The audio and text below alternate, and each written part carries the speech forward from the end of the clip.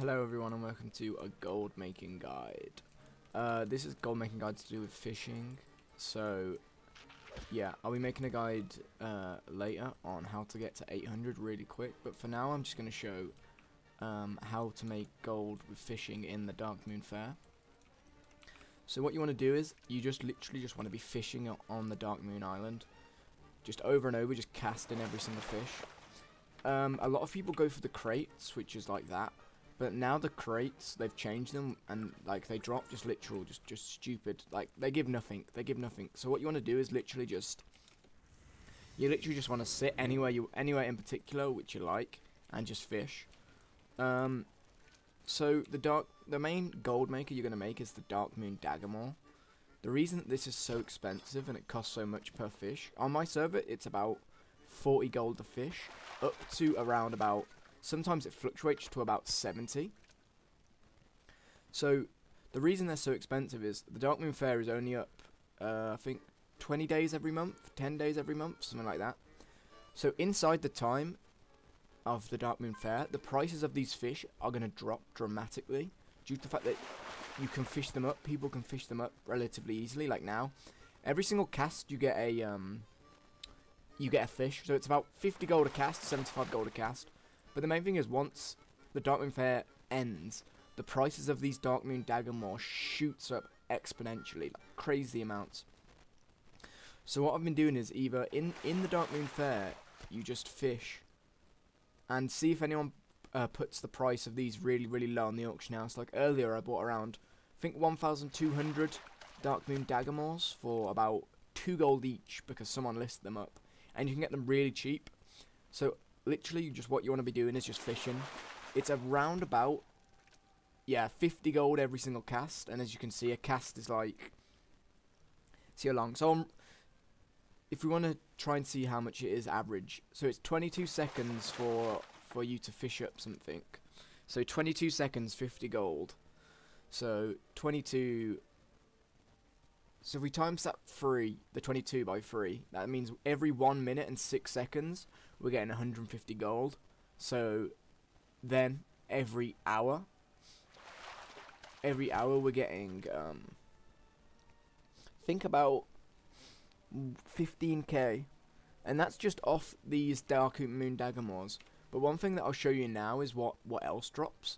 And there's a, um, there's a dragon. A not a dragon, I'm being stupid. There's a shark which drops. There's a chance of getting a shark. I think that's about 9% every single cast. I'll try and show you one here. But this this um this shark is really really OP for the for what I'll show you.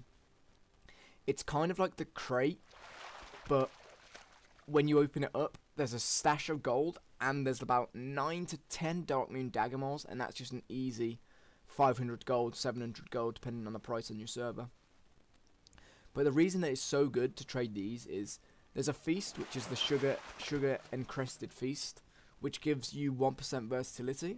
And the reason that this is so overpowered is it works like um, our BG food, and that um, you eat it, you instantly get the buff from it.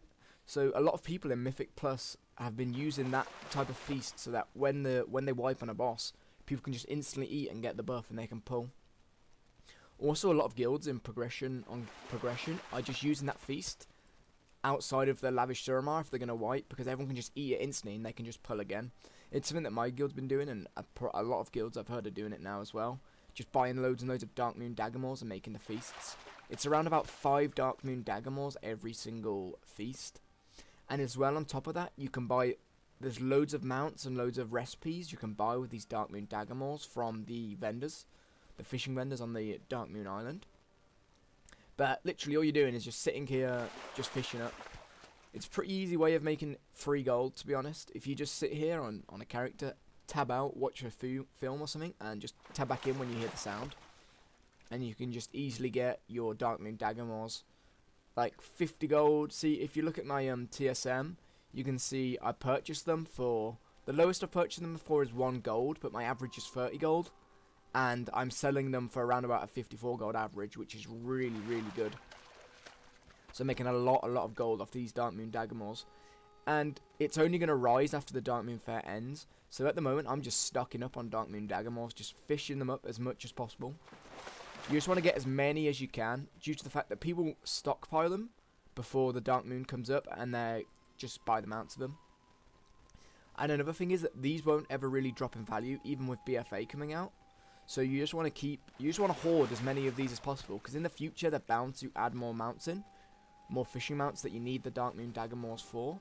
So it's just way, way better to just keep all these um, Darkmoon Daggermaws.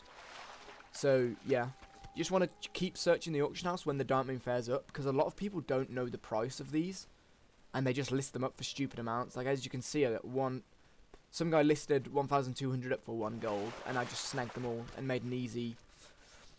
I think I must have made about 40k gold off that one guy because he listed them up.